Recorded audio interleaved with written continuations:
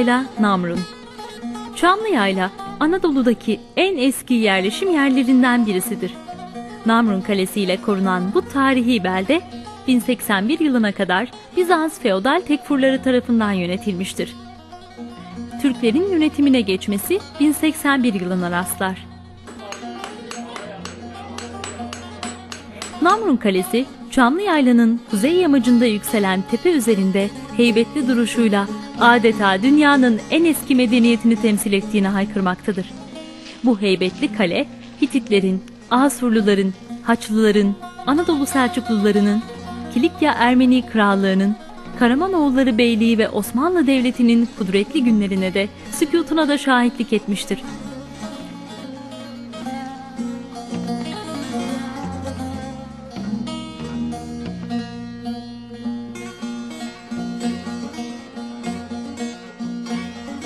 Namrun Kalesi'nin arka kısmında kalan Sinap Kalesi, ilçe merkezine 5 kilometre mesafededir. Kalenin ön cephesindeki kapıdan girilerek burçlarına kadar çıkılabilir. Kalenin güneyinde bulunan Sinap Çeşmesi'nde dört mevsim içme suyu bulunmakta olup kale ve çevresi görülesi yerlerdendir. Çamlıyayla denilince ana ardıcı hatırlamamak olmaz. Çamlıyayladan kuzeye doğru yaklaşık 20 kilometre kadar gidildiğinde Bolkar Dağları eteğinde ve Kadıncık Vadisi'nin kuzeyinde ana ardıça ulaşılır. 1107 yaşında 22 metre boyunda ve 3,5 metre çapındaki koca doğal anıta bakarken Türk milletinin bin yıllık Anadolu macerası da bir film şeridi gibi gözlerinizin önünden geçer. Rüzgarın dallarında meydana getirdiği seslerde nice savaşların naralarını, gelinlerin ağıtlarını, anaların ninnilerini ve yavukluların hasret türkülerini duymanız mümkün. Duyacak yüreği olanların duyacağı sesler. Papazın Bahçesi Burası Çamlı Yayla'nın en çok misafir ağırlayan mesire yerlerinden biridir. Çamlı Yayla şehir merkezine 13 kilometre mesafededir.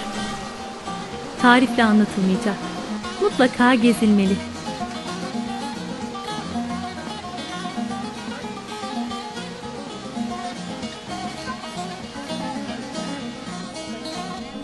Çamlı Yayla İğne Oyası Çamlı Yayla doğal güzelliklerinin yanı sıra insanların üretkenliği ile de adından bahsettirmektedir. İlçe ekonomisinin her dalında gücünü hissettiren Çamlıyayla kadınları, kendilerine has üslupla geliştirdikleri iğne oyası ile de ilçenin adının duyulmasını sağlıyorlar. Gönül gözünden parmak uçlarına yansıyan nice duygular bu parmaklarla oyalara şekil veriyor. İğnelerin verdiği bu şekiller ise nice duyguları yansıtıyor ve ünlü Çamlıyayla iğne oyası hayat buluyor.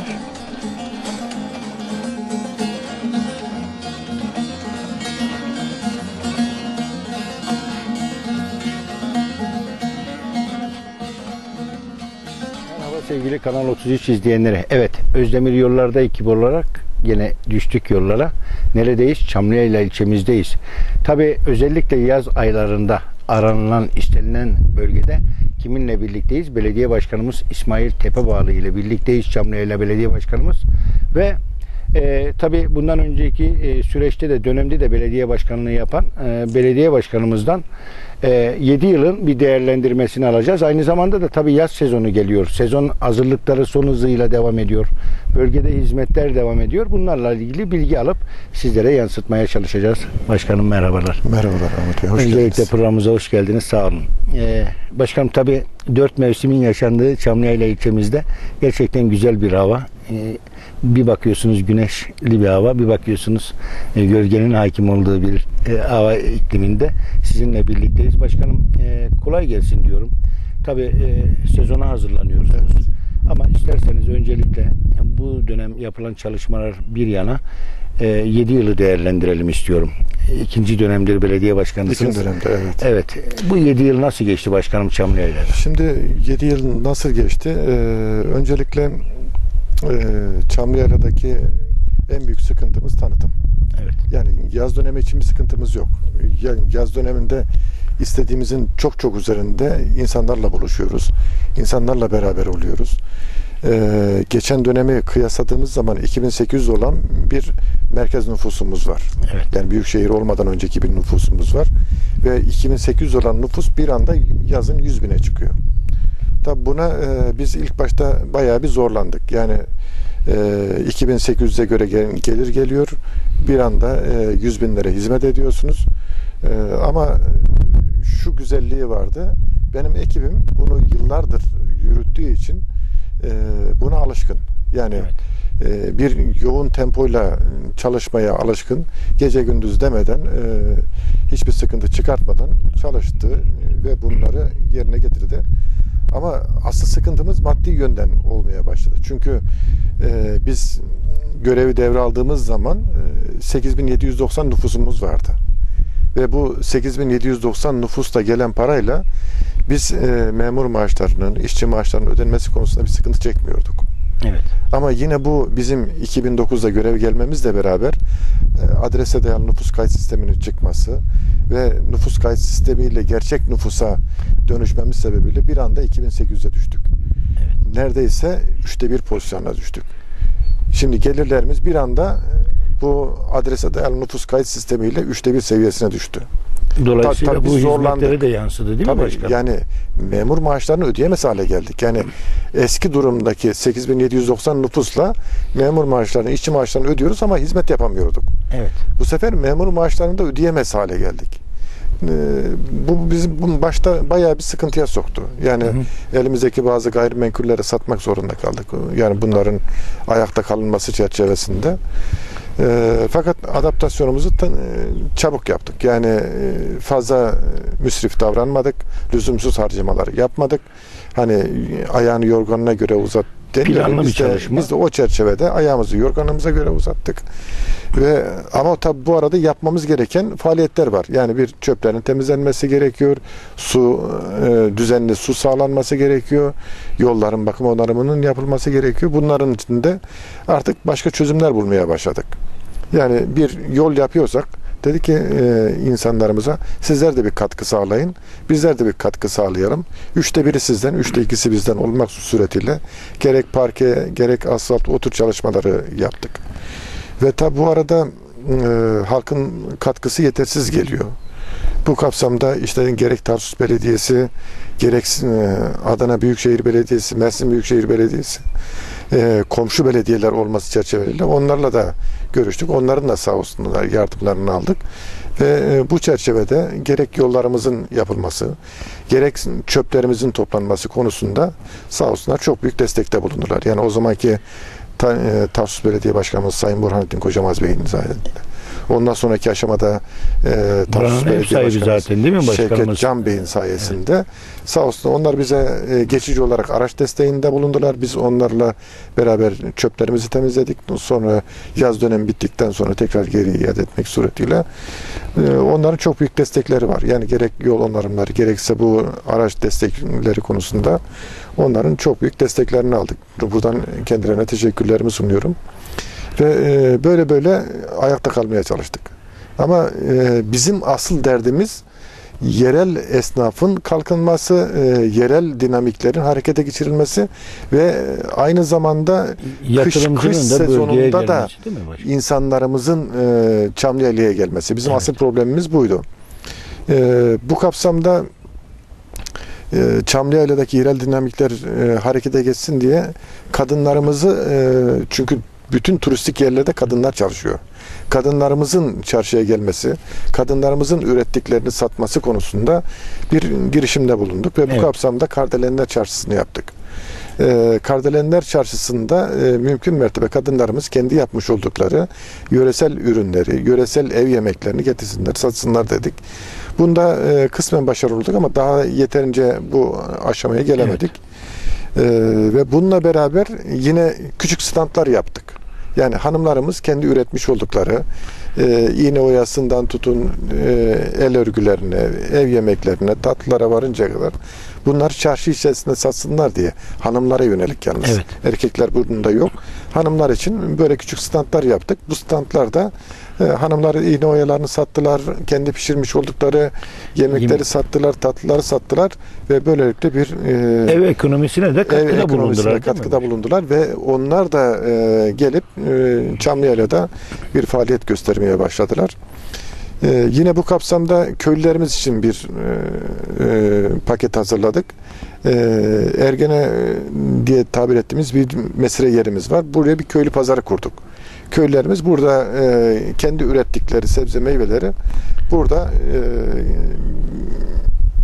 tüketiciyle buluşturmak suretiyle ilk elden tüketiciyle buluşturmak e, suretiyle satılabilecek duruma getirdik. Buradaki alan eskiden de vardı. Yani küçük bir e, örnek olarak konuşuyorum. Yani 20 metrekarelik bir alan varken şimdi 100 metrekarelik bir alana çıktı gibi. Böyle bir 10 kat büyümüş gibi oldu. E, ve araçların rahat park etmesi için alanlar koyduk. Oradaki e, dükkanları falan biraz daha genişlettik. Dolayısıyla orada da insanlarımız kendi ürettiklerini direkt tüketiciye satabilecek şekilde böyle bir adı Evet, köylü par- evet. pazarı, üretici pazarını oraya da kurmuş olduk. Ee, Böylelikle insanlarımıza biraz daha farkındalık kazandıralım diye çalıştık. Yaşamı kolaylaştırma deriz e, biz buna başkanım. İşte- yani insanların e, günlük yaşamında aynı zamanda da ekonomisine katkıda bulunmuşsunuz aslında. Evet. E, bu çok önemli. Onları bulunduk. Yani e, burada insanlar Çamlıyalı'ya geldiği zaman zaten e, temiz havasını, doğasını görüyor. Ve buradaki organik besinlerle de beslenmek istiyor. Biz de bu organik be- besinleri direkt e, üreticiden tüketiciye ulaştıracak şekilde e, böyle bir uygulama yaptık. E, Ergen'de o e, çalışmayı yaptık. Genelde insanlar Yine- pikniğe giderken hep şehir merkezinden alışverişini yapar gider ya başkanım. Evet. Ama burada tam tersi bir bu uygulama. köylü pazarlarımızdan Evet, alışveriş Çok güzel olmuş. gidiyor. Yine e, e, köylülerimiz diyeceğiz. Çünkü artık e, her ne kadar mahallemiz oldular. Yeni yerel üretimler yasasıyla birlikte evet. çerçevesinde olmuşlarsa da onlar yine bizim köylülerimiz. Yani Doğru bu aslında bu şeyi de kaybetmemek gerekiyor. Özelliği kaybetmemek Ee, lazım. ve bunların desteklenmesi için de bizim normalde bir sabit pazarımız var. E, Perşembe ve Cuma günleri kurmuş olduğumuz e, sabit pazarımız var. Bunlara da e, pazar yerinin merkezindeki yeri köylülerimize tahsis ettik. Hiçbir ücret almadan gelsinler dedik orada satış yapsınlar. Diğer normal esnaflar e, pazarın kenarında kalacaklar. Onlar ücret ödeyecekler. Fakat köylülerimiz hiçbir ücret ödemeyecekler ve pazar yerinin Kendi ürünlerini en ortasındaki yerde onlar bulunacaklar şeklinde. Ee, öyle bir uygulama başladık ve bunu ilk geldiğimiz günden beri sürekli yapıyoruz ve yapmaya da devam, Devam ediyoruz. ediyoruz. Başkanım tabi e, yerel yönetimleri yasası geldikten sonra özellikle ilçe belediyelerinde e, tabi yer yer sıkıntılar da yaşandı. Evet. E, maddi, manevi. Bu anlamda e, siz de sıkıntılar yaşadınız mı başkanım? Yani yerinden yönetim anlamında. Şöyle söyleyelim yani e, ana hatlarıyla baktığınız zaman e, çok büyük sıkıntı. Yani büyük şehir olması, e, yerel gelirlerin büyük şehire geçmesi e, olarak baktığınız zaman normalde ilçe belediyeleri için çok büyük bir sıkıntı. Çünkü yüzde 60 gibi bir gelir otomatik olarak büyük şehire gidiyor. E, kendi ilçe belediyelerimize hemen hemen hiçbir şey kalmıyor. Evet. Ee, ama bu e, ne diyelim normal şartlarda bu doğru, geçerli. Evet. Ama Çamlıya ile özelinde baktığınız zaman e, biz aslında minnettarız bu uygulamaya.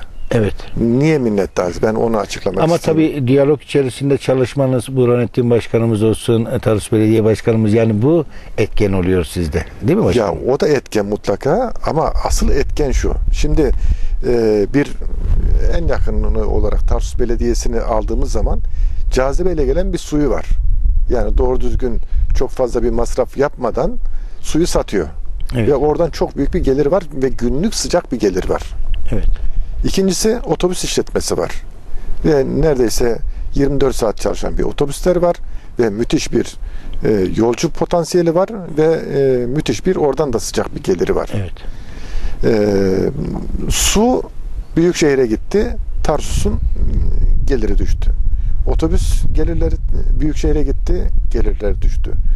Yani bu tür şeylere baktığınız zaman e, çok büyük sıkıntı. Ama Çamlıhele Belediyesi'ni özeline geldiğiniz zaman ben suyu e, iki terfide getiriyorum ve devasa motorlar çalıştırıyorum.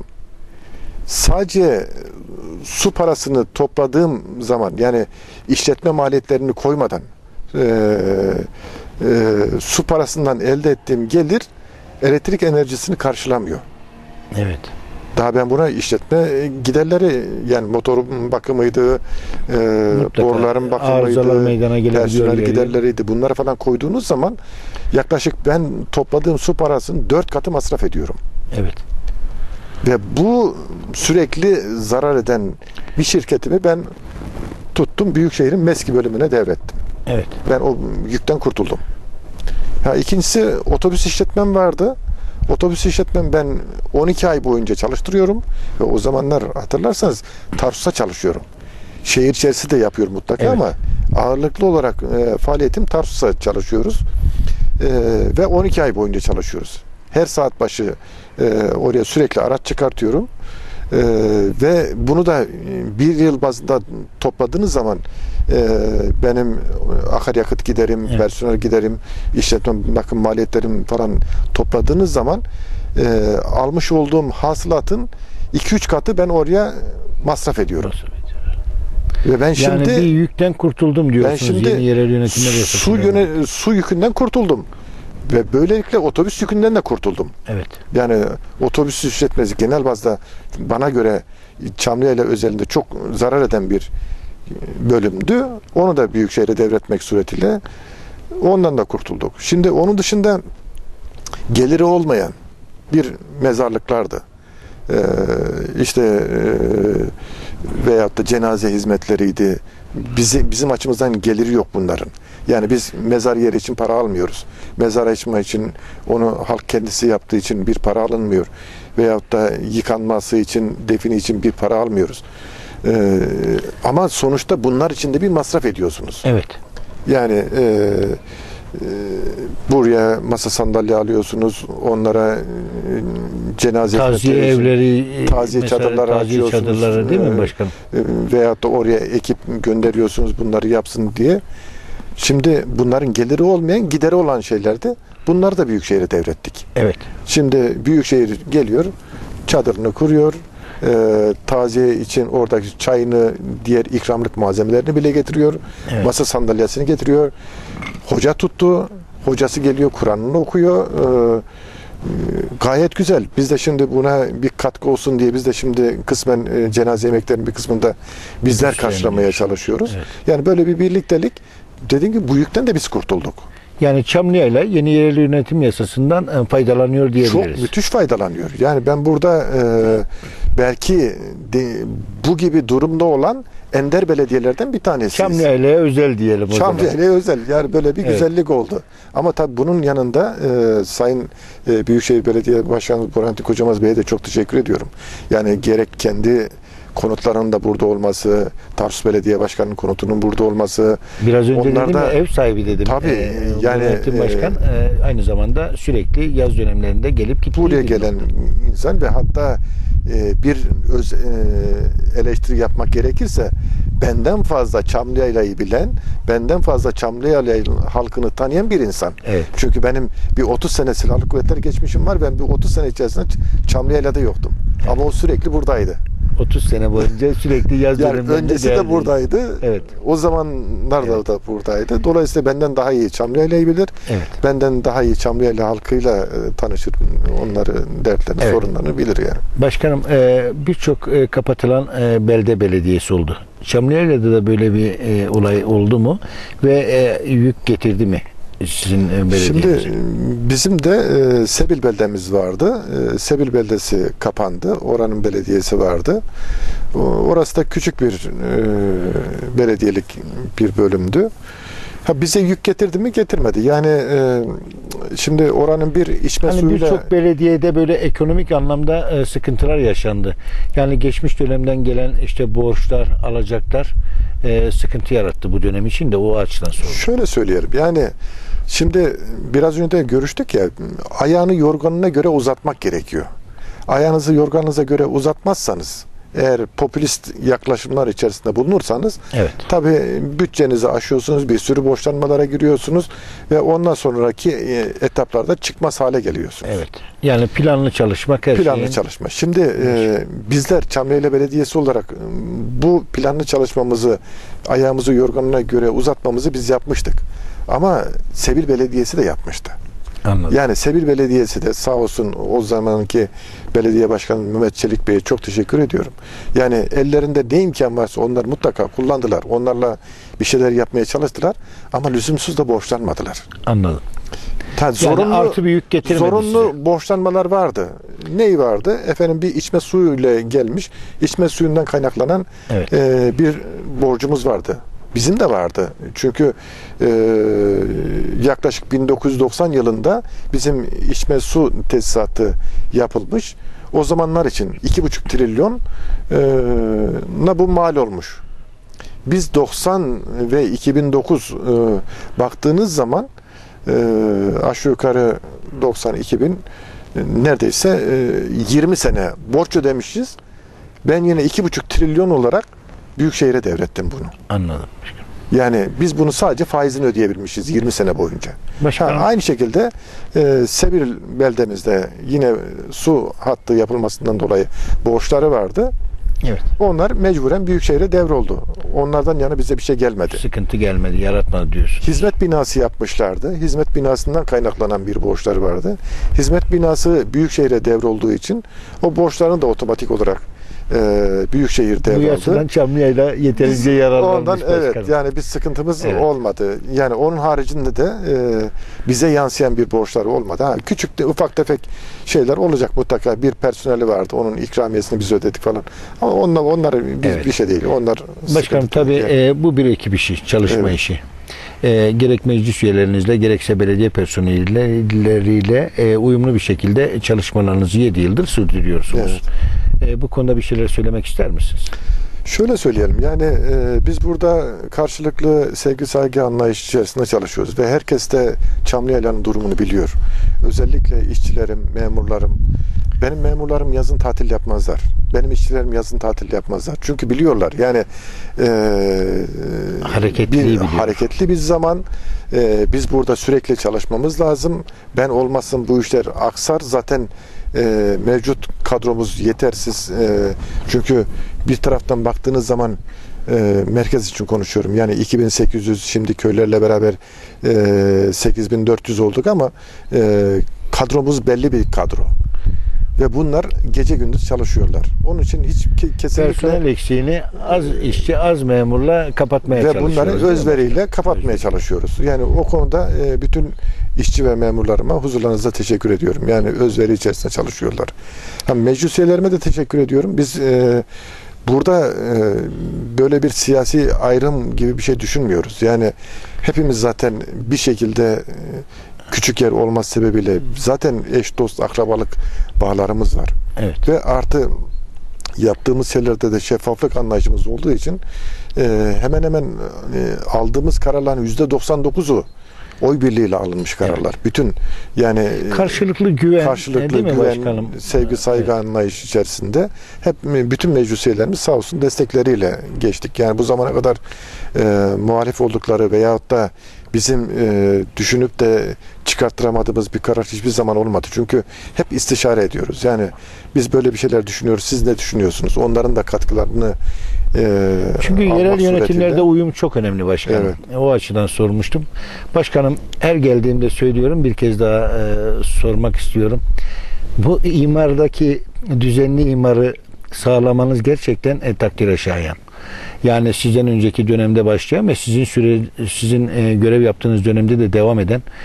Yani baktığımız zaman e, buranın doğal ortamını, güzelliğini bozmayan bir imar uygulaması bu başka yerlere, başka yaylalık yerlere, özellikle başka ilçelere örnek olsun diyorum. Evet. Neler söyleyeceksiniz? Şunu söyleyeyim yani bu işin e, mimarı e, ve halen hayatta olan Mehmet Akın Bey var. Eski belediye başkanımız. E, bu ilk çalışmalar yapılacağı zaman demiş ki böyle bir uygulama yapalım. Yani bir dönüme bir konut uygulaması olsun, %10 yapılaşmamız olsun ve iki kattan yükseğe de izin vermeyelim. E, ve bu kuralı e, imar planlarımıza da işletmiş. Evet. Ve e, Mehmet Akın Bey e, fasılalarla 25 sene e, Çamlıyele'de 5 dönem belediye başkanlığı yaptı. Ve bu sistemini bozmadı. Ha, ondan sonraki gelen arkadaşlarımız var.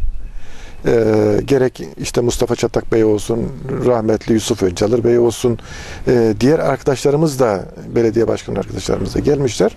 Fakat bu güzelliği hiçbir zaman bozmamışlar. Evet. Şimdi biz e, işte iki dönemdir devam ediyoruz. Biz de yeni imar planları, çalışmaları yapıyoruz ve bu özelliği devam ettirme kararını aldık. Evet. Ve önümüzdeki 25 yılı planlayan bir çalışmamız var. Büyükşehir Belediyesi ile beraber 1 bölü 100 binlik, 1 bölü 50 binlik, 1 bölü 5 binlik ve şimdi e, yine bizim sorumluluğumuzda olan e, 1 bölü binlik haritaların yapımı için şu anda çalışıyoruz. E, toplantılar da yaptık ve bu kapsamda dedik ki bu özelliğimiz bozulmasın ve bu özelliğimiz devam etsin. Bu önümüzdeki hiç olmazsa 25 sene içinde bu devam etsin. Ha ondan sonraki 25 senede ne olur ne ne biter e, Kim ölür kim kalır bilemiyoruz. bilemeyiz. Ama, Ama, bu önümüzdeki 25 senenin planlamasında da yine bu görüntümüz devam edecek. Yani bir dönüme bir konut uygulaması, e, bir dönüme ancak 100 metrekare ev yapılabilecek, en fazla iki katlı yapılabilecek ve her taraf yemyeşil olacak. ama şu İnsanlar anda huzur içerisinde. zaman insanlar şu güzelliği gördüğü Evet. zaman tabii gelip görmesini isteriz. E, izleyicilerimizin de. Yani bu imar planı Türkiye'de başka yerde yok. Evet. Maalesef. Çünkü Yani- ben birçok bölgeyi geziyorum, görüyorum. İnanın e, mesela araç e, yoğunluğu açısından da baktığımız zaman nüfusun hayli kabarık olduğu mesela Çamlıyayla'da örnek veriyorum. İşte bu uygulamalar sayesinde belki de otopark Sakin, sorunu evet, yaşanmıyor. E, doğal e, güzellikler bozulmuyor. E, yani insanlar oksijeni daha rahat alabiliyor başkan. Yani Çamlıya'yla e, çarşısının dışında otopark sorunumuz yok. Yok. E, Orada da alışverişten kaynaklı bir yoğunluk Evet, oluşuyor. yani Yani, çünkü- merkezi nokta. sıkışmışız. Yani e, bir çarşı diye tabir ettiğimiz yere sıkışmışız.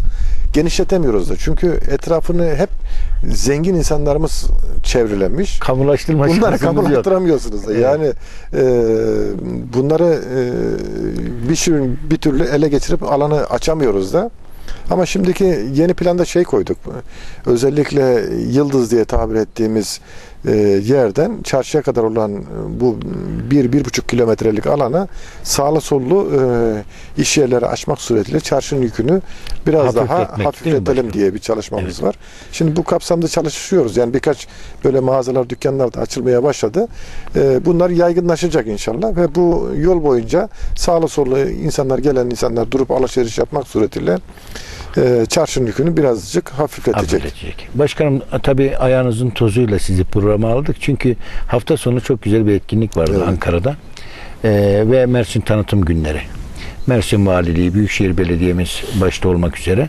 Ee, tabii sizler de buralara iştirak ettiniz ve e, Mersin'in havasını, dokusunu Ankara'ya taşıdınız e, başkente. E, nasıl geçti efendim e, Ankara'da Mersin Tanıtım Günleri? Şimdi Mersin tanıtım günleri e, ona gelmeden önce bir e, tanıtımla ilgili bir başlık açalım. Yani e, şunu söylemek istiyorum. Biz daha önceki büyükşehir olmadan önceki kapsamda biraz önce sıkıntılarımızı anlattık. Çok büyük sıkıntılarımız vardı. Dolayısıyla biz dışarı hiç açılamadık. Evet. Yani maaş vermekte zorlanırken dışarı açılmayı insan göremiyor, bakamıyor Evet. veyahut da düşünemiyor yani o tür şeyleri. Ama Büyükşehir e, yasasıyla beraber biz biraz rahatladık. Yani belki çok büyük yatırımlar yapamıyoruz ama bu dışarı açılacak kadar da gücümüz olmaya başladı. Evet. Ve tabi bunda en büyük etkenlerden bir tanesi de Büyükşehir Belediye Başkanı Sayın Burhanettin Kocamaz Bey. Onun Evet. ufku, onun yardımları.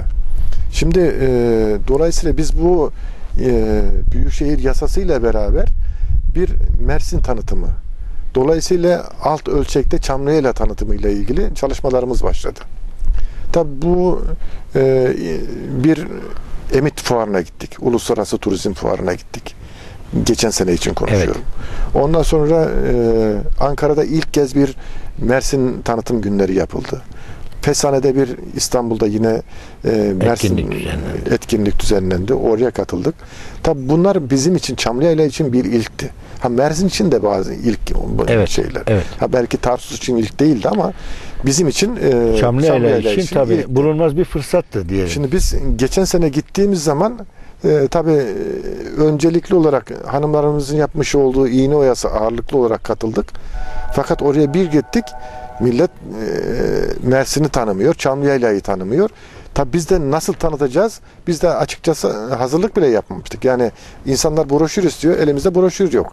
Nasıl tanıtacağız? E, o konuda bayağı bir sıkıntı çek- e, çekmiştik geçen sene. Ama bu sene Hazırlıklı. ona hazırlık yaptık. Yani bir e, tanıtım CD'leri oluşturduk. Tanıtım ki- kitapçıkları, broşürleri oluşturduk. E, fotoğraflar oluşturduk. E, viniller oluşturduk. Çamlıyayla'yı Ankara'ya taşıdık kısacası taşıyacak. değil mi başkanım? Yani Bütün önce, özellikleriyle. Önce daha önce bir Emit Fuarı vardı biliyorsunuz. Emit Fuarı'na bir taşıdık. Ondan sonra e, Ankara'ya taşıdık ve broşürlerimizle, resimlerimizle, tanıtım filmlerimizle orada e, geçen seneyle göre kıyas kabul etmeyecek şekilde Çamlıyayla'nın tanıtımını yaptık. Evet. Yani yine geçen sene bütün yükü biz çekmiştik. Bu sene ufak tefek de olsa esnaflarımız destekledi. Esnaf odası destekledi. Bunların da katkıları var sağ olsunlar. Yani artık e, birliktelik e, büyüyerek çoğalıyor. Daha da gelişiyor. E, inşallah bu e, yerel halkımız, yerel esnafımız bu konuda biraz daha e, girişimci olacaklardır ve bunların geri dönüşümleri daha iyi Olacak olacak inşallah. Evet. Başkanım tabii e, geniş bir coğrafya. E, her ne kadar e, köy diye tabir edilmese de biz köy diyoruz. E, köyden mahalle konumuna dönüşmüş bölgelerimiz var. Tabii hem kış şartlarında hem de şimdi önümüzdeki sezonla ilgili çalışmalar devam ediyor. Evet. E, işte yol bakım, onarım, özellikle e, kış aylarında yapamadığımız asfaltlama çalışmaları e, ve diğer çalışmalar. E, bu konuda bir şeyler söyler misiniz? Şimdi e, Çamlıyayla'nın doğası gereği biz e, Kasım ayı itibariyle bütün asfalt çalışmalarını durduruyoruz. Evet. E, 1 Mayıs'a kadar hemen hemen e, bütün çalışmalar duruyor bu arada. E, sadece e, kilitli parke taşı diye tabir ettiğimiz e, döşemeyi yapabiliyoruz. O da kış olduğu için kışın da e, bir sıkıntı çıkartmıyor. Onları kış aylarında dahi döşeyebiliyoruz. Ama yazın ağırlıklı olarak asfalt çalışması yapıyoruz. E, geçen seneyi e, konuşacak olursak geçen sene e, geçmiş 5 yılda yapmadığımızdan fazla asfalt çalışması yaptık. Tabi bunları geçen sene ağırlık olarak köylerimize öncelik verdik. Çünkü biz bir şekilde Çamlıhele merkez olarak belli bir standarda ulaştık. Belli bir standartta yolumuz var. E, fakat köylerimiz bu hizmeti daha önce hiç alamamışlardı. Evet. Çok büyük sıkıntılar vardı. Biz dedik ki sonuçta biz mahalleysek, onlar da bir mahallemizse bunların da birbirlerine eşitlenmesi gerekiyor. Tabii Hemen onların hemen- da güzel yaşama kavuşması gerekiyor değil mi başkanım? Evet yani aynı standarda onların da kavuşması gerekiyor. Yani siz mahallesiniz, mahallelisiniz de biz köylü müyüz Evet. denmemesi gerekiyor. Sonuçta ikimiz de aynı standartlarda, aynı şartlarda olmamız gerekiyor. Onun için biz ağırlığı e, geçen sene bütün köylerimize verdik ve köylerimizin yollarının ağırlıklı olarak asfalt yapılması, merkez yollarının köy içi diye tabir ettiğimiz yerlerin kilitli parke taşıyla döşenmesi Öncelikle onlara ağırlık verdik ve dediğim gibi geçmiş daha önceki 5 senede yapamadığımız kadar daha fazla burada e, asfalt çalışması yaptık. Evet. Tabii asfalt çalışmasıyla beraber bizdeki sıkıntının birisi de yeni yol açım çalışmaları. Yani insanlar bir şekilde bir yerlere gidiyor ama yollar düzgün değil. Veyahut da e, bir yere gitmek için atıyorum 5 kilometre dolaşırken şimdi yeni bir yol açtık. 1 kilometrede gidiveriyorlar. Yani böyle hem insanları ekonomik kaybı önlemiş hem oluyorsunuz hem, ekonomik de kaybı rahat ulaşım değil mi başkanım? insanlara daha rahat, daha konforlu bir ulaşım e, sağlanması kapsamında özellikle kış döneminde yani paletli makinelerle Evet. çalışmanın sıkıntı olmadığı, bizim de işlerimizin hafif olduğu zamanlarda bu yeni yol açım çalışmaları, bunların bakım onarımlarının yapılması bunlara ağırlık verdik. Ee, ve e, işte yeni bir dönemle beraber yine işte Mayıs ayına geldik. Yeni bir dönemle beraber şimdi ağırlıklı olarak tekrar asfaltlama çalışmalarına devam edeceğiz. Evet. Başkanım tabii e, yaz sezonunu burada geçiren, e, burada dinlenen e, insanlarımız var ama bu arada günübirlik gelen insanlarımız da oluyor mutlaka Çamlıyayla'ya özellikle yaz aylarında. Bunlarla ilgili mesela mesire alanları yaratma konusunda yani piknik alanları konusunda da e, çalışmalar vardır mutlaka. Yani tabii bir geçmiş 7 yılı değerlendirdiğiniz zaman bizim aşağı yukarı geçmişteki yapılanın iki misli e, piknik alanı oluşturduk. Evet. Ee, tabii bu arada sadece bizim oluşturmamız yetmiyor. Mevcut alanların da iyileştirmesini yaptık. Islağı değil mi? Yani bunu daha önceki belediye başkanı yapmış. Efendim ben buraya çivi çakmam. Böyle bir düşünceyi Evet. kabul etmedik. Yani onları aldık. Onların içerisindeki ekipmanları, çocuk oyun gruplarını falan komple değiştirmek suretiyle onları da tekrar kullanılabilir hale getirdik. Tabi bu arada e, arkadaşlarımızın e, çalışmaları da vardı. Yani yeni alanlar oluşturulsun, e, yeni dinlenme alanları oluşturulması ile ilgili çalışmaları vardı. Onlara da destek verdik. Yani onları da açsınlar, onları da çalıştırsınlar şeklinde. Ee, şimdi yeni yeni daha güzel, daha fazla insanı burada konaklatacak, daha fazla insana hizmet verebilecek şekilde testleri yapıyoruz inşallah. Başkanım tabii e, yaşam yerlerinin en büyük sorunlarından bir tanesi de e, kanalizasyon, altyapı sorunu. Çamlıyayla'da altyapı sorunu ne aşamada, e, nasıl bir çözüm buldunuz? Onunla ilgili bilgi almak isterim. Şimdi e, kanalizasyonla ilgili biz eski dönem için konuşuyorum. E, projeler hazırlattık. E, bu projeler çok büyük maliyetleri Maliyet. gerektirecek projelerdi. Fakat biz bunları bir türlü gerçekleştirememiştik. Yine aynı şekilde Sebil, Bel- Sebil Belediyesi, Belde Belediyemiz de projeler hazırlatmıştı. Fakat kaynak konusunda e, sıkıntılarımız Sıkıntı var. vardı ve kaynağı bulamadığımız için e, bekletmekteydik. E, projeler hazır, her şey hazır. Fakat e, devreye girmiyordu. Ama Büyükşehir Yasası'yla beraber e, ilk etapta hazır projemizin bir tanesi olan Sebil Beldemizin kanalizasyon çalışması yine Mersin Büyükşehir Belediye'mizin ve MESKİ'nin e, çalışmalarıyla hemen ihalesi yapıldı ve şu anda aşağı yukarı yüzde 70 yüzde 80 aşamasında bitmiş konumda. O da e, yakında devreye girecek. Yine Çamlıyayla'nın kanalizasyonu ile ilgili e, projede e, tabii bizim yaptırdığımız bizden önceki dönemde yapılan projenin e, şu anki hali hazıra uymadığı ortaya çıktı. Şimdi onu tekrar e, yeniliyoruz. E, o çalışma biter bitmez hemen o da ihale edilecek ve ondan sonra Çamlıyayla'nın da kanalizasyonu devreye Yani girmiş altyapı olacak. sorunu çözümlenmiş olacak. Altyapı sorunları çözümlenmiş olacak. Tabii Evet. biz burada hep şunu söylüyoruz. Yani e, sahillerimiz mutlaka önemlidir. Yani sahillerimizdeki kanalizasyonların denize akmaması, e, denizin kirlenmemesi mutlaka önemlidir. Ama doğayı da kirletmememiz lazım. Doğayı da kirletmememiz lazım. Ama bu arada yaylalar olarak bizimki de çok daha önemli. Evet. Çünkü buradaki atıkları öyle ya da böyle yani biz gerek küçük kanalizasyon sistemiyle veyahut da foseptiklerle bir şekilde bunları biz derelere boşalıyor. Yeraltı kaynak sularına Yeraltı, karışıyor. yeraltı kaynak Tabii. sularına karışıyor veyahut da kısmen derelere karışıyor ve buradan toplanan suları da e, Tarsus, Mersin içme suyu olarak kullanıyor. Evet. Bu kaynakların da kirlenmemesi gerekiyor.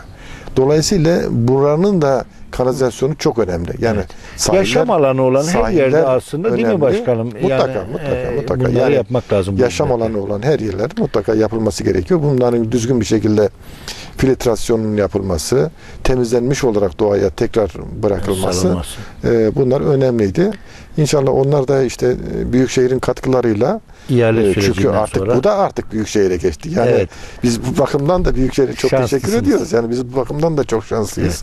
Kanalizasyonun e, beldele, beldemizde şu anda bitme aşamasında.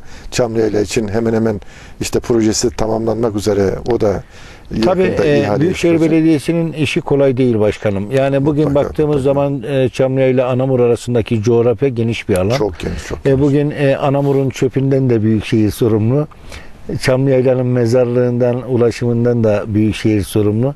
E, hatta ve hatta bütün bölgelerin içme suyu. Hatta e, şunu da söyleyeyim. Bugüne değin e, doğal kaynak sularından işte e, su sayacı takmadan e, yararlanan insanlar yasa gereği yani bu ben de olsam siz de olsanız sayaç taktığı zaman da yer yer eleştiriler yapabiliyor. Tabii bunu iyi anlatmak lazım. Bunu iyi anlatmak Evet. lazım. Ee, ama biz bu kapsamda teşekkür ediyoruz. Yani Büyükşehir Belediye Başkanımıza, ekibine e, çok teşekkür ediyoruz. Ee, sıkıntı çeken yerlerimiz oldu mutlaka. Dediğiniz gibi kendi cazibesiyle gelen Evet. özellikle köylerimiz kendi cazibesiyle gelen suları vardı ve bu sulara para ödemeden kullanıyorlardı. Şimdi, Şimdi sayaç takma küçük de zorunluluğu olsa e, tabii. küçük de olsa bir bedel ödüyorlar. Ee, o bakımdan e, köylerimizin bazılarında, hepsinde değil, bazılarında e, bu sıkıntı var. Ama bazı köylerimiz de vardı. Onlar da elektrik enerjisiyle Tabii suyunu maliyet vardı. suyunu karşılıyorlardı ve hatta bu elektrik enerjisini ödeyemedikleri için e, suları kesilmişti. Yani o dönemlerde de televizyonlara falan çıktılar. Yani Evet. Sarıçkoyak e, Evet. mahallemiz, Sarıkavak mahallemiz, Evet. giden hatta kısmen Bağçat'a da dahil olmak üzere bunlar bayağı bir susuzluk çektiler. Biz bunların ilk başta Büyükşehir Yasası'yla beraber e, gündeme getirdiğimizde bu borçların ödenmesi ve hatta bunlara geçici su verilmesi için tankerlerle getirdik buralara Evet. su verdik falan e, bayağı bir e, sıkıntı çekilmişti. Şimdi onlar teşekkür ediyorlar. Evet. Yani çok küçük bir miktara Eleştiren de var, e, e, küçük öven bir de var. miktara tabii, evet. e, bu sefer sular sürekli akmaya başladı. Ha onlar e, geçmişte e, atıyorum 3 liraya su içerken e, elektrik enerjisiyle şimdi 85 kuruşa su içiyorlar ve e, çok büyük rahatladılar. Başkanım su deyince e, bu sene iklim şartları biraz e, Yine ben bir parantez evet. daha açayım ondan sonra evet su kaynakları konusuna bakalım. Biz şimdi e, Belediyesi olarak Büyükşehir olmadan önce biz suyun tonunu 6 liraya satıyorduk. Büyükşehir geldi dedi ki ben standart bir uygulama yapıyorum. Herkes e, belli bir standart bir biçiyorum dedi ve Büyükşehir yasasıyla beraber biz 6 liralık suyu 2,5 liraya içmeye başladık. evet bu çok önemli. Bizim için çok önemli. Çünkü yani o bakımdan da Büyükşehir bize çok büyük fayda sağladı. Katkı sağladı. Ama yine söylüyorum. O iki buçuk liraya verirken bile buradan çok çok fazla masraf yapıyordu. yani. Evet. Başkanım e, su deyince e, tabi bu sene hem kar yağışının az olması ve e, yağışların yeterli olmaması tabi e, su gözlerini olsun e, içme suyuyla ilgili olsun, sulama suyuyla ilgili olsun yer yer sıkıntılar olacak gibi gözüküyor. Evet. Özellikle e, sıcakların arttığı dönemde, yaz dönemlerinde bölgemizde de böyle bir sıkıntı yaşanabilir mi? Şöyle söyleyelim yani bizim içme su e, tesisatı 1990 yılında e, Bahçe Evet. Mesire yeri halk arasındaki tabiriyle papazın bahçesinde e, içme su havzamız vardı. Oradan geliyor elektrik Evet. enerjisiyle. E, o 1990 yılında böyle bir su kesintisi olduğu zaman e, mevcut derenin kaynağından almak üzere 3 tane keson kuyu yapılmış. Evet. Yani bunlar eğer kaynaklarda su biterse derenin suyunu süzmek, arıtmak suretiyle içme suyu olarak verebiliriz diye. Çünkü bizim üzerimizde yerleşim yeri yok. Ve bu dereler temiz dereler. Yani her ne kadar açık alanda da gelseler de üzerinde yerleşim yeri olmadığı için e, suyu küçük bir filtrasyonla içilebilir temiz e, sular. Evet. E, bunu 90 yılında yapmışlar. Ama o zamandan geçen seneye kadar bu hiç kullanılmadı. Yani yaklaşık bir işte e, 92 bin e, 30 sene neredeyse hiç Evet. kullanılmamış yani. E, fakat e, geçen sene çok büyük sıkıntı yaşadık. Yani bu kaynaklardaki suyun yetersiz olmasından e, kaynaklanan ve ilk kez bu keson kuyulara müracaat etmek zorunda kaldık. Kaynaklardan su yetersiz geldiği için. Evet. Ve buradaki ırmaktan almış olduğumuz suyu önce bir doğal süzme ondan sonra da arıtma ve klorlama suretiyle insanlarımıza içme suyu olarak vermiştik. Şimdi bu sene e, kar yağmadı. Bu Allah'ın takdiri yapacak bir Evet. şey yok. Yani yağmur da yağmur da yağmadı. E, çok büyük sıkıntı olacağını düşünüyorum. E, ama bunun halkı çok da fazla etkileyeceğini değerlendirmiyorum açıkçası. Çünkü alternatif kaynaklarımız var. İşte bu Devreye e, girebilecek devreye alternatif girebilecek kaynaklar. ee, ve bunlarla beraber e, yine oradan en kötü ihtimalle şu an için yetiyor. Daha henüz e, Böyle bir sıkıntı yazlık misafirlerimiz gelmediği Evet. için şu an bir sıkıntımız yok. Ama sıkıntı olduğu zaman yine bu kesim kuyulara müracaat etmek suretiyle oradan suyu hem doğal arıtması ondan sonra süzme ve klorlama suretiyle insanlarımızı yetiştireceğiz. Tabii Evet. bunun haricinde bizim e, kendi önceki dönemde başlatmış olduğumuz Karakapı su kaynağımız var. Yaklaşık 400 litre saniye e, içme suyu olan bir kaynak var. ve Çamlıyayla'nın 1100 en yüksek yerimiz 1400 olduğu düşünürse bu yaklaşık e, 1560 metre rakamında. Yani kendi cazibesiyle çok rahat gelebilecek bir konumda. Evet. İnşallah bunu da büyük şehire biz bunu tahsisine aldık. E, Çamlıhayla Belediyesi olarak almıştık. Bunu büyükşehire devrettik. E, bu hem Çamlıhayla'nın hem bize bağlı e, beldemizin eski 10 köyümüzün ve buradan Tarsus'a kadar olan bazı köylerimizin de ihtiyaçlarını karşılayabilecek kapasitede. Büyükşehir onunla ilgili de bir çalışma yapıyor. İnşallah buradan da kendi cazibesiyle suyu getirebilirsek elektrik enerjilerini bu sefer komple ortadan kaldıracağız. Evet. Yani hem Çamlıya'yla hem Sevil şu anda elektrik enerjisiyle içiyor suyu. İnşallah Ama o zaman o maliyette e, kendi cazibesiyle rahat rahat olacak. içebilecek bir pozisyona gelecek. Onun için de bir çalışma yapıyor Büyükşehir. Evet. Onu da inşallah kısa bir sürede devreye soktuğu zaman buradaki çok büyük enerji maliyetleri de e, ortadan kalkmış olacak yani. Başkanım e, tabii programın başında da söylediniz, ortasında da tanıtım dediniz bir yer için çok önemli. Şimdi tabii e, sizin ben biliyorum çok sosyal aktiviteler düzenlemek istediğiniz ama e, günümüz şartlarında da baktığımız zaman birçok e, aktiviteyi veya birçok program programlamak istediğiniz olayı şu anda düşünemiyorsunuz bile. Özellikle ülkemizde yaşanan sıkıntılar nedeniyle. Ve yaz sezonunda nasıl yapacağız? Yani biz şenliklerle, konserlerle buluşamayacağız gibi gözüküyor böyle giderse. Şimdi yani Çamlıya'yla olarak baktığınız zaman bizim geçmişten beri sürekli yapmış olduğumuz zafer şenlikleri, güreşler, e, o tür Tabii çok etkinlikler sosyal vardı. Yani etkinlikler vardı. e, ve biz e, 2009 yılında göreve gelir gelmez de e, bazı ilave etkinlikler de ekledik. Yani bugün Türk halk müziği konserleri, Türk sanat müziği konserleri, tiyatrolar, açık hava sinemaları, Cross yarışmaları. e, motocross olsun, Evet. bir iş turnuvaları olsun yine sizler yayınladınız. E, bu tür etkinlikleri çoğalttık ve aşağı yukarı her hafta sonu bir etkinliğimiz vardı.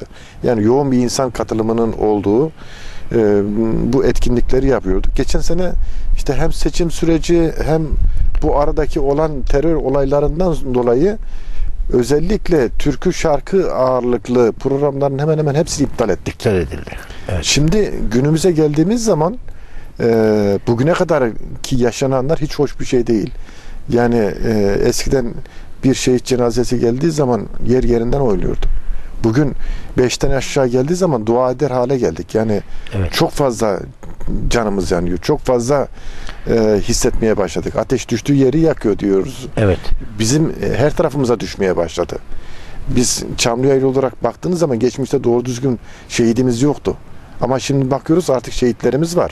Çamlıyaylı'da bile var yani. Evet. Küçücük bir beldede bile şehitlerimiz var. En son işte Evet. bir yüzbaşımız e, şehit oldu. Yani Allah bunlar acın kolay bir şey değil. E, ve e, bu gelişmelere bakarsanız yaz döneminde bu daha da artacak gözüküyor. Yani Evet. biz artık eğlenmeyi bir tarafa bırakmamız gerekiyor. Bizim artık bunun çözümüne yönelik bir şeyler yapmamız gerekiyor. Yani şunu açık yüreklilikle söylüyorum. Terör hiçbir zaman başarılı olamayacak. Devletimiz güçlü. Ee, yeter ki e, buna Milletimiz kararlı kararlı bir mücadele kararı alınsın ve kararlı bir şekilde mücadele edilsin. Silahlı kuvvetlerimiz çok güçlü, devletimiz çok güçlü. Yani bunlara kesinlikle bu teröristlere pabuç bırakmayacağız ve bunların üstesinden geleceğiz. Ama tabii e, bu zamana kadar yapılan yanlış olduğunu düşündüğüm tedbirler vardı. Yani süreçler vardı. Açılım süreci gibi veyahut da e, e, süreçler vardı. Yani bu süreçler e, bana göre hatalıydı ama e, bir şekilde de belki olabilir düşüncesiyle devletimiz, hükümetimiz böyle bir karar aldı. Böyle bir kararı uyguladı. E, belki iyi sonuçlar da verebilecekti ama karşımızdaki insanlar insan değil. E, karşımızdakiler insanlıktan nasibini almamış, kendine göre e, birilerinin piyonu olan kişiler. Ve e, oturdular bizim açılım süreci dediğimiz süreç içerisinde e, kendileri planlarına uygun olarak yerleşimini yapmışlar. Adamlar e, yollarımızın altına bombayı döşemişler, e, evlerin altına tüneller kazmışlar, evleri tuzaklamışlar. e, onların planı açılım değil, onların planı kardeşlik, birlik, beraberlik değil. Onların planı ülkeyi bölmeye yönelik olduğu için onlar kendi amaçlarına uygun olarak o süreç içerisinde çalışmışlar. Evet. Ve biz de tabii e, iyi niyetli düşündüğümüz için yani devlet olarak, hükümet olarak belki iyi niyetli düşünüldüğü için onlara e, bu kapsamda bir müdahale edilmemiş veyahut da onlara bir hoşgörü çerçevesi içerisinde yapılmış. Dediğim gibi bu yanlıştı belki bizim açımızdan ama hükümetimizin değerlendirmesi böyleydi. Tabii e, yanlışın neresinden dönülürse kârdır. Yani mutlaka bu görüldü. Buna yönelik çalışmalar şu anda başlandı. Bunun kararlı bir şekilde devam etmesi Devam gerekiyor. Ve biraz daha e, ciddi tedbirlerle. Yani e, şimdi hep şunu söyledik yani daha önceki konuşmalarımızda da şunu söyledik. Yani biz oradaki Güneydoğu'daki insanlarımızı hepsini terörist olarak görmüyoruz. Orada mutlaka vatansever birçok insanımız var. Buradaki bin kişi yaşıyorsa bunun bini de terörist değil. Belki 800'ü 900'ü düzgün insanlar. Vatanını milletini seven insanlar. Belki bizden daha fazla seven insanlar. Ama bir şekilde o 100 kişi veyahut da %10'luk bir grup buraya bir şekilde baskıyla silahlı baskıyla veyahut da şeylerle burada bir şeyler yapmaya çalışıyorlar. Evet. Ee, ama buradaki artık e, halkın da duyarlı olması gerekiyor. Yani bu içerisindeki yüzde onu kendisi temizleyecek. Ve e, burası artık daha yaşanılabilir hale gelecek. Ama bunlar e, yapılmıyorsa yine genel başkanımızın da söylediği gibi bu yerlere bir müddet verilecek. Denecek ki arkadaş size üç gün müddet. Buradaki vatanını milletini seven insanlar burayı terk etsin. Burada sadece teröristler kalacaksa teröristler kalsın ve biz orayı başlarına yıkalım. Yani bizim artık şehit vermek istemiyoruz. Biz polisimizi, askerimizi veyahut da vatansever korucumuzu, e, milletimizi biz orada şehit vermek istemiyoruz. Ama oranın da bir şekilde temizlenmesi gerekiyorsa gerekirse toplu imha mı yapacak? İşte Yani bir başkanım şekilde yani bu yaşanan yani. terör olayları gelen e, her gün e, şehit haberleri sosyal yaşamı da etkiliyor. Yani insanları siz burada yaz sezonunda özellikle yani güzel renkli e, görüntülerle, renkli programlarla buluşturmak istiyorsunuz. Ama e, işte düşen e, ateş nedeniyle e, yani bir tarafta nedeniyle şehit tabii cenazesi e, varken ve bir programları tarafta e, canımız yanmışken nasıl gidip de orada Evet. müzikal bir program yapıp da Evet. insanları eğlendirmeye çalışabilir? Zaten birçok belediye bu konuda aynı sizin gibi Evet. e, karar almış vaziyette. İşte Yani biz- konserli bölümleri iptal ediyor. Kültürel ağırlıklı e, Yani programlar. şimdi düzenliyor. yapacağımız şeyler var. Güreş turnuvasını yapacağız. Yani bunda bir e, müzikal ağırlık olmadığı için bunu yapacağız. Evet. Motocross bunu yapacağız. Ki çok Ee, ilgi çekmişti değil mi başkanım? Çok O- ilgi çekti. Yine aynı şekilde offroad e, yarışmamız var. Onları yapacağız. Bir iş turnuvamız yine, yine Başkanım devam bir edecek. iş turnuvasında Yeni çevre Oyası illerden gelen Festivalimiz e, tabii, devam, edecek. Yani bunlar inşallah Evet, e, bu inşallah. dönemde müzikalsiz olarak, müziksiz olarak e, bunları yapmaya devam edeceğiz. Çünkü bun- bunlar e, bizim geleneklerimiz, bunlar bizim göreneklerimiz. E, yani insanlarımızın canını da acıtmayacak şekilde, acılı olan insanlarımızın da canını acıtmayacak şekilde ama e, Diğer aktivitelerimiz diğer devam edecek. aktivitelerimiz devam edecek. Evet başkanım, e, hoş sohbet oldu. E, Gerçekten Çamlıhela ile ilgili güzel değerlendirmelerinizi almış olduk. Mutlaka tabii e, hem Çamlıhela'da yaşayan vatandaşlarımıza, aynı zamanda da Çamlıhela'dan yaz sezonunda yararlanan e, tatilcilerimize bir mesajınız olacaktır diye düşünüyorum. Neler söylemek istiyorsunuz? Yani Çamlıhele'deki yaşayan insanlarımız endişelenmesinler. Yani ülkenin genel gidişinde mutlaka endişeleri var. Endişelenmesinler. Silahlı kuvvetlerimiz çok güçlü. Devletimiz çok güçlü. Polisimiz çok güçlü. Yani biz onların üstesinden gelebilecek durumdayız. O yönden e, bir endişe içerisinde olmasınlar. E, biz Çamlıhele olarak baktığınız zaman genelde metropolden uzak olmamız sebebiyle biraz daha e, sakin bir yaşantımız var. Dolayısıyla buradaki sakin yaşantılarına kendileri devam etsinler. Buraya gelecek olan insanlarımız için de burası çok sakin bir şehir ve dikkat ettiyseniz trafik lambamız bile yok. Evet. Trafik ışıklarımız bile Evet, yok. Hani evet. e, slow dediğimiz sakin şehir. E, henüz daha bu ünvanı almadık ama Biz Gerçekten ayrı Yani bir e, yaşam sakin bir şehirdeyiz. Çamlıya'yla. Gelsinler sakin sakin huzur içerisinde e, Çamlıca'da tatillerini yapsınlar, dinlensinler, oksijen depolasınlar, enerjilerini alsınlar ve ondan sonraki e, Tabii tekrar e, doğal yetişmiş ürünlerden yararlansınlar. doğal organik yetişmiş, değil mi organik başkanım? ürünlerimizden e, Evet. faydalansınlar. Biz şunu söylüyoruz. Kirlenen dünyanın temiz köşesi Çamlıca'yla. Yeter ki bir kere Çamlıca'ya gelsinler. Bundan sonra müdavim olacaklardır. Evet. Bir kere Çamlıca'yla her zaman Çamlıca'yla Her diyoruz. zaman Yani. Buyursunlar gelsinler. Evet başkanım Bekliyoruz teşekkür inşallah. ediyoruz Evet. programa katıldınız. Bizim de sesimizi duyurduğunuz için, bizi tanıttığınız için bize size çok teşekkür ediyoruz. Sağ olun başkanım. Evet sevgili izleyiciler. Bir Özdemir Yollarda programının yine sonuna geldik. Çamlıayla Belediye Başkanımızla gerçekten e, güzel bir program oldu. E, ve hem geçmişiyle ilgili hem de gelecekteki yapılacak çalışmalarla ilgili bilgiler aldık Sayın Başkanımız İsmail Tepevağlı'dan. Ne diyelim e, yine bir başka noktada bir başka konukta sizinle birlikte olmak dileğiyle hoşça kalın, esen kalın.